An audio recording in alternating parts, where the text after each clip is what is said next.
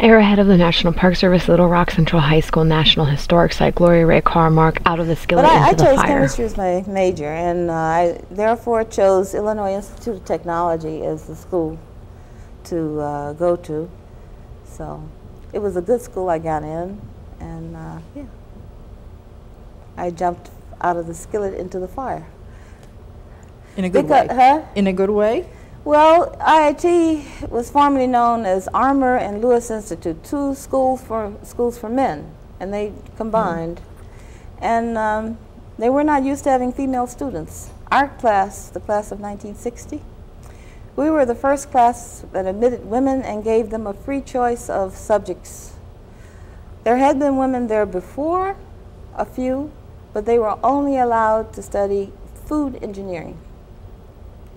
This is the 60s for you. So that's where I got uh, confronted with discrimination as a woman for the first time.